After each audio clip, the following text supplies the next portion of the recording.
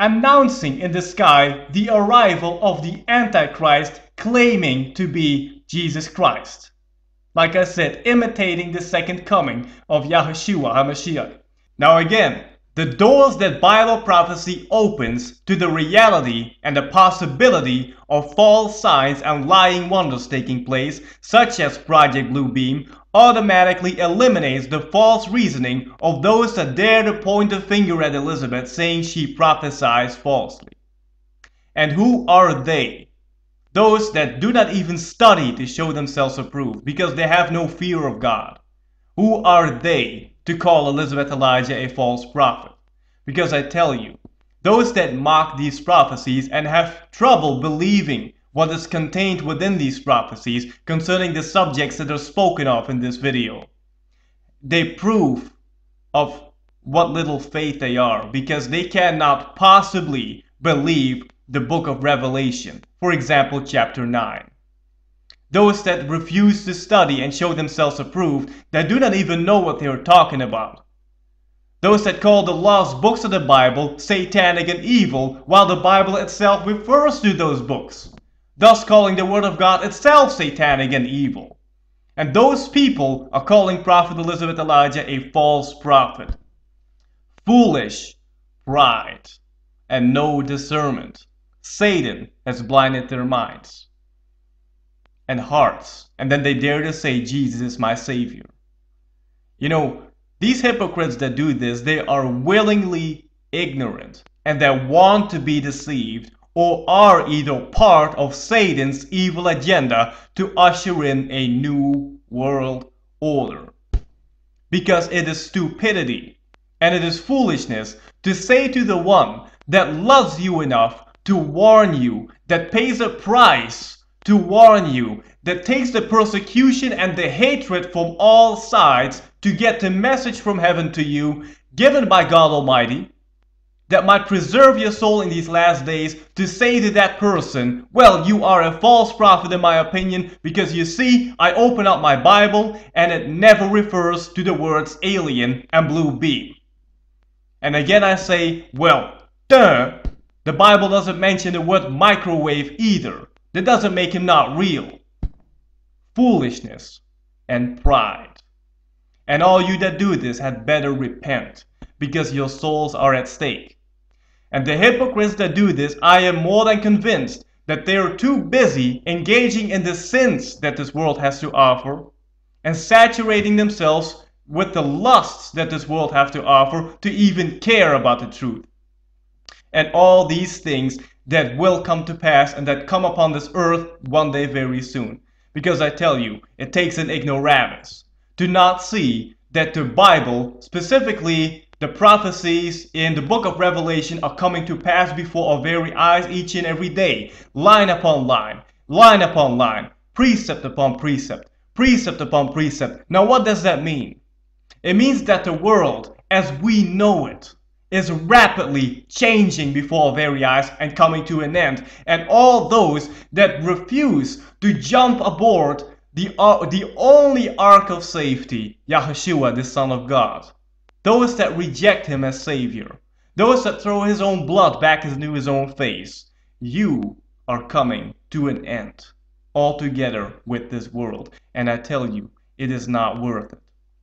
It is not worth it to close your eyes and to close your ears, to shut your ears and stick your head in the sand, being willingly ignorant, teaching others to do the same, while keep on playing your Xboxes, saturating your mind with the filth that this world system has to offer until you are in a state of spiritual imbecility and not ready, not praying always to be accounted worthy to escape these things, not seeking God's face earnestly. And sad to say, this is that broad way, that wide gate. And many, most, will go into that gate. Sad to say. But those that are watching, it is no coincidence that God Almighty, by the power of His Spirit, has drawn you to hear these truths. Because He doesn't want you to perish. He wants that all should come to repentance. It is not worth it.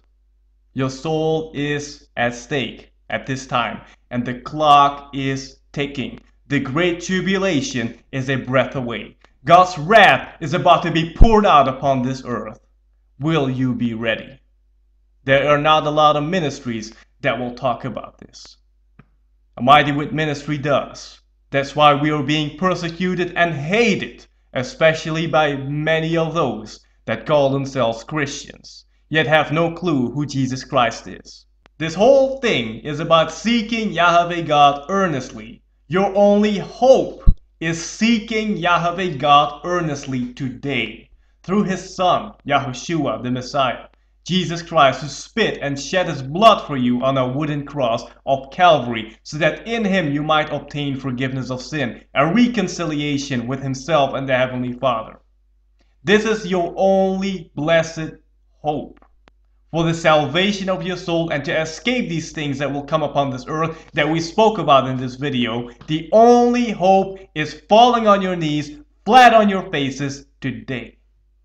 Repenting wholeheartedly of your sins, being willing to turn away from your sins, and allowing Yahuveh and Yeshua to fill you with their precious Holy Spirit who enables you to walk in a loving and obedient relationship with God Almighty in which you keep His commandments. Not break them, but keep them. Because First John tells us if we say we know Yahushua, but do not keep his commandments, we are found liars, and the truth is not even in us. We ought to walk like Yahushua himself walked. That doesn't mean we are God or we can become gods, never.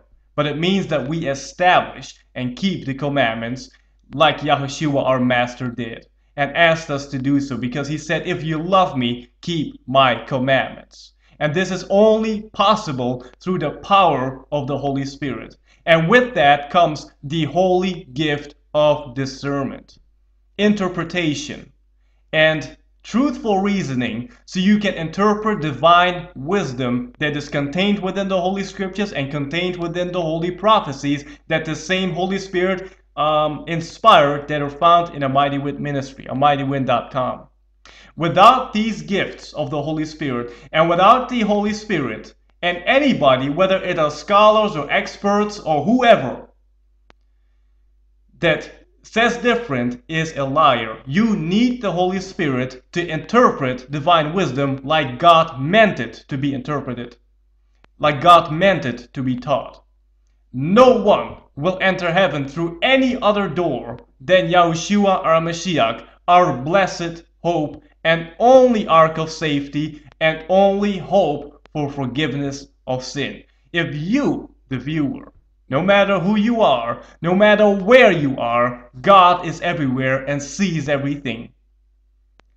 If you have not surrendered your heart and mind yet to the Son of God, Yahushua HaMashiach, who created you, then I encourage you and I pray earnestly that you will do so today, yea, right now.